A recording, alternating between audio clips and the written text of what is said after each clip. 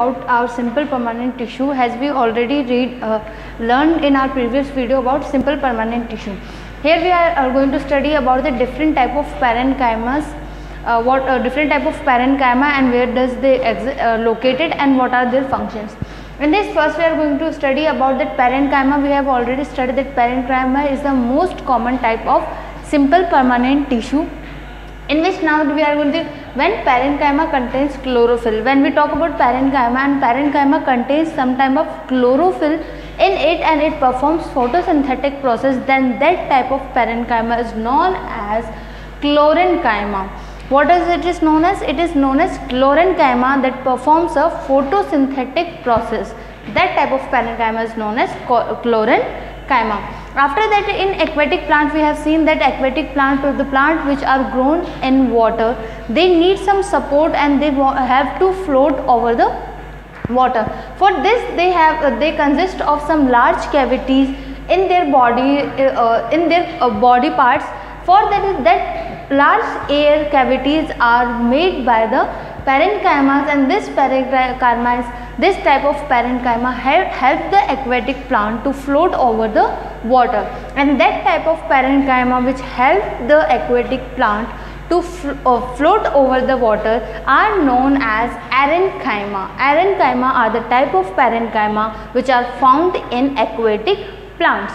After that now we are talking about the flexibility of plant. As we all know there are so many type of plant which consist of some tentacles which are bent towards the surface of the land and which form some branches which can easily bend. This flexibility of the plant is present due to the presence of parenchyma. The type of parenchyma is known as collenchyma. That this type of collenchyma parenchyma provides the flexibility to the plant to, uh, to bend towards the land surface or to have some flexibility to move their branches from uh, a side to other side.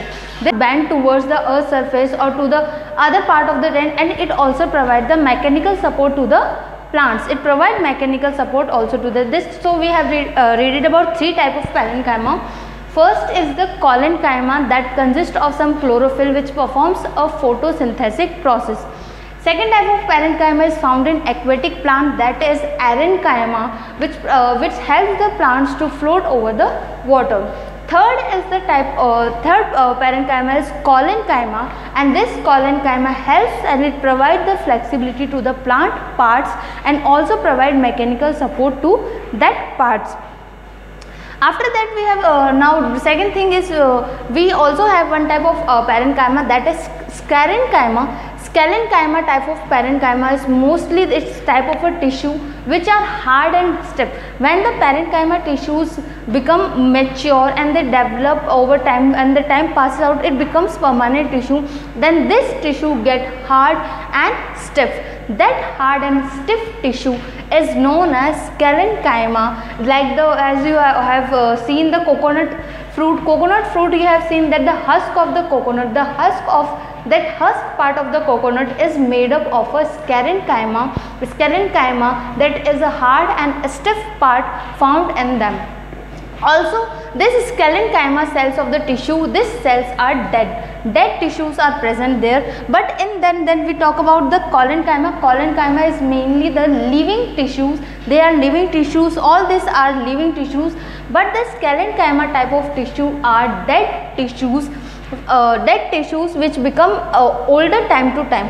They have long, narrow and thick the wall due to lignin. Their walls, uh, uh, they are long in shape, narrow and their walls are thick the wall because there is lignin is present in their walls which forms the wall thick.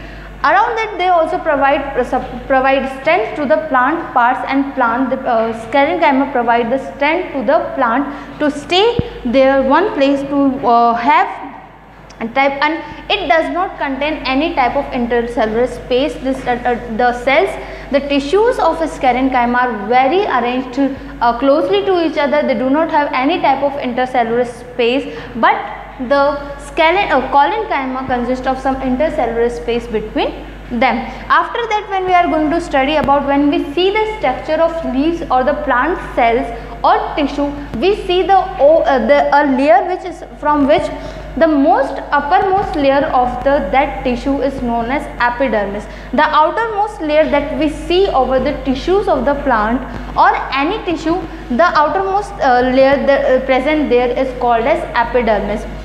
This epidermis may be thicker in the A plants which are found in the dry areas like the plants which found in desert areas. The epidermis the outer layering is very hard and it consists different type of cells and it forms so many layers so that it can protect the plant to lose water uh, minimum or to protect them to lose water. As you all know that dry area does not uh, dry area uh, have uh, um, scarcity of water so that the plant required the plant which found in desert area require more water and they have to store water in their body uh, or in their parts. To protect this water from transpiration and the other thing this epidermis is thicker it's uh, in the dry plants.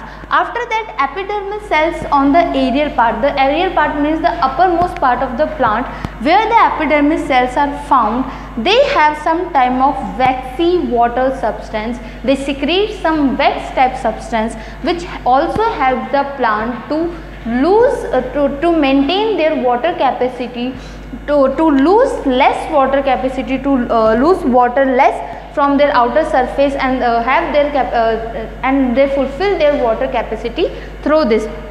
As we have seen in leaves, small pores are found in the leaves area that epidermis uh, over the epidermis layer small small pores are found there that small pores are known as stomata and this stomata are enclosed by the kidney shaped structure that are known as guard cell guard cell are kidney shaped structure which protect the stomata and it also helps the stomata and leaf to exchange the gases from environment to the plant and from plant to environment. All these are there in the epidermis and also their epidermis consists of some uh, kidney like structures and it guard cells also uh, helps in the transpiration to lose less water other than that in the areas the plant which are uh, found over that area where the water capacity is more the plant consists of thin type of epidermis. Epidermis cells uh, uh, of the roots whose function is water absorption. Mainly the root uh, root consist uh, root is also consist about epidermis cells.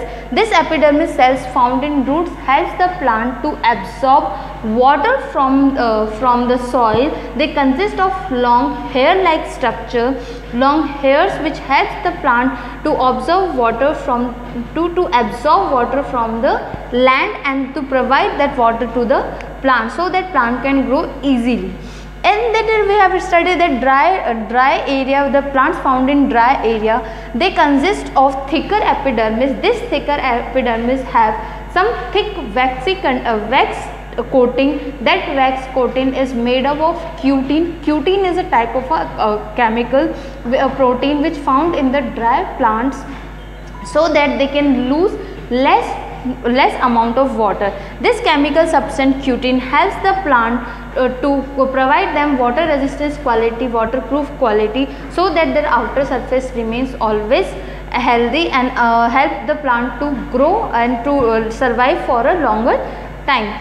In outermost branch of the tree also the branch of the tree consists of different outer layerings. Plant has grow older and older. The protective tissue undergoes certain changes. Many changes are there found in the plant when the tissue becomes older and older. This type of tissue they, uh, slowly they converted into secondary meristematic tissue. The secondary meristematic tissue converts into a permanent tissue and this tissues literally forms some layers and a cork like structure which help the plant to arrange the inter, inter uh, that forms the cork into a dead and compactly arranged over the cells and they without they does not contain consist any type of intercellular space. When we talk about the meristematic tissue, meristematic tissues consist of some type of space between them that is intercellular space.